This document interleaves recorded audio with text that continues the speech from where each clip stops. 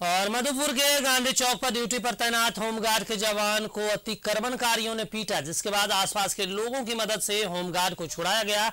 वहीं मौका देखकर आरोपी फरार हो गया। इधर इस घटना से पुलिसकर्मियों में रोष है। दरअसल एक फल सब्ज़ी बेचने वाले ने अनाधिकृत तरीके से अपना ठेला नो पार्किंग में लगाया था, जिसका होमगार्ड के जवान ने विरोध किया। इस बात से नाराज़ आरोपी ने उसे बुरी तरह से पिटाई कर दी।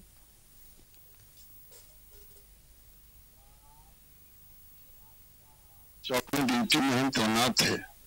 तब तक उधर से एक ठेला वाला लेकर के रॉन्ग साइड में लेकर के जा रहा था। रोकने के क्रम में उन्होंने ज़बरदस्ती कालर पकड़ लिया और गाली गलौज देते हुए हमको उठा करके दो बार पटक दिया। वहाँ का आसपास का आदमी आके छोड़ा हुआ तब वो छोड़ करके भाग गया। गांधी चौक में ड्यूटी में हम तैनात